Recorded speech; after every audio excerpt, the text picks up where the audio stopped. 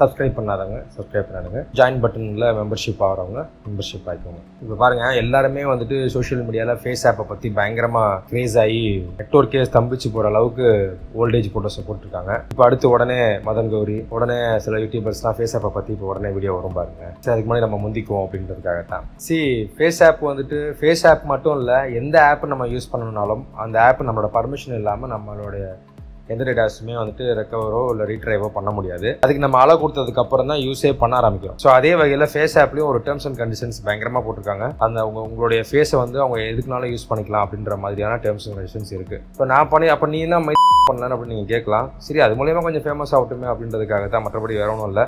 அதை தாண்டி normal public peoples வந்துட்டு வீட்டில் ஃபேமிலியோட ஃபேமிலி மெம்பர்ஸ் அவங்க ஃபோட்டோஸ் இவங்க ஃபோட்டோஸ் பண்ணி மாஃப் பண்ணுறதுக்கான வாய்ப்புகள் அதிகமாக இருக்குது ஸோ அது வேணாங்கிறவங்க தவிர்த்துக்கோங்க. மற்றபடி எனக்கும் பேரும் புகழும் தான் வேணும்.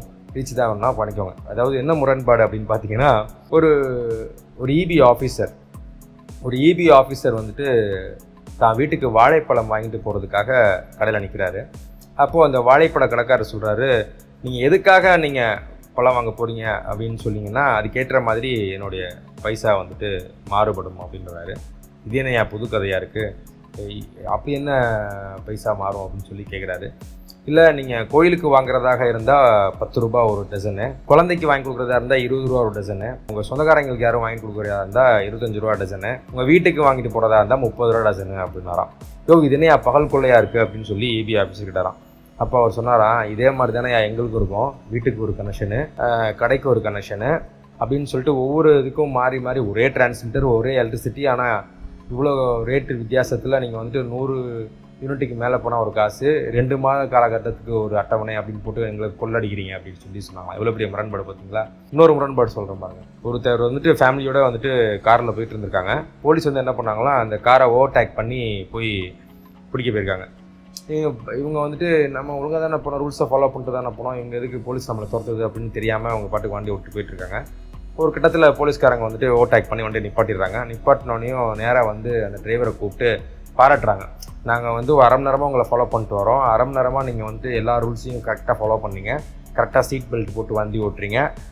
இந்தாங்க பத்தாயிரரூபா அப்படின்னு சொல்லிட்டு ஊக்கத்தொகையை பத்தாயிரரூபா காசு கொடுத்துருக்காரு அந்த போலீஸ்கார் உடனே இவர் மனசுக்குள்ளே நினச்சது வெளியே என்ன சொன்னாராம் பட்டுன்னு பாடா சீக்கிரத்தில் ஒரு லைசன்ஸ் எடுத்துடலாம் அப்படின்னு சொன்னாராம். காருக்கு வந்துட்டு இன்சூரன்ஸு அப்படின்னாங்களாம் ஒய்ஃபு கண்ணு தெரியாத அவங்க அம்மா வந்து இதுக்கு தான் அப்பயே சொன்னேன் திருட்டுக்கார இவ்வளோ வேகமாக ஓட்டாதாரான்னு பாரு போலீஸ்கிட்ட மாட்டிட்டான் ஸோ இந்த உலகத்தில் யாரை நம்புவது எப்படி நம்புவதுன்றதும் தெரியல.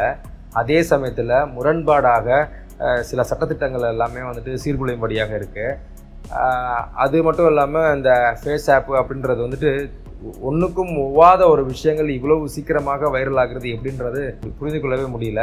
அதனால் முடிந்த அளவுக்கு நல்ல விஷயங்களையும் நல்ல ஆலோ சட்ட ஆலோசனைகளையும் நல்ல ஒரு அறிவு தரக்கூடிய கருத்துக்களையும் வந்துட்டு சமூக வலைதளங்களில் பதி பதிவு செய்தால் அது நிச்சயமாக பல பேரை சென்றடையும்ன்றது எந்த அளவுக்கும் ஐயமில்லை. நிச்சயமாக போய் சென்றடையும். ஸோ அதனால் நீங்கள் அந்த வகையான விஷயத்தை நீங்கள் வந்துட்டு வைரலாக்கும் பொழுது நிச்சயமாக அந்த சமுதாயம் நல்ல சமுதாயமாக மாறுவதற்கான எல்லா வாய்ப்புகளையும் பெறுகிறது. அதுக்காக தான் இந்த வீடியோ. ஸோ அதனால் ஃபேஸ் ஆப்பில் மட்டும் ப்ராப்ளம் வரும்னு நம்ம சொல்கிறது வந்து முட்டாள்தனம். அதை தாண்டி ஒரு ஒரு கண்டிஷன் போட்டிருக்காங்க. அதை வந்து கவனமாக செயல்படுத்துவது நல்லது.